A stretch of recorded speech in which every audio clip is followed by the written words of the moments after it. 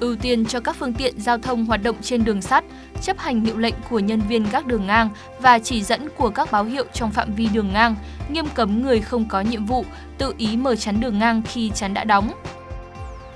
Khi phương tiện giao thông đường bộ bị hư hỏng, tai nạn, không thể di chuyển ngay ra khỏi phạm vi giữa hai vạch dừng xe tại đường ngang, người điều khiển phương tiện phải tìm biện pháp để nhanh chóng đưa phương tiện ra khỏi phạm vi này. Tại những đường ngang có dàn chắn hoặc cần chắn, khi dàn chắn, cần chắn đang dịch chuyển hoặc đã đóng, người và phương tiện đường bộ phải dừng đúng phần đường quy định, cách cần chắn, dàn chắn tối thiểu 3 mét. Tại đường ngang đường sắt không có cần chắn, dàn chắn, khi đèn tín hiệu màu đỏ bật sáng hoặc có tiếng chuông báo hiệu, người và phương tiện đường bộ phải dừng đúng phần đường quy định, cách đường dây gần nhất tối thiểu 6 mét.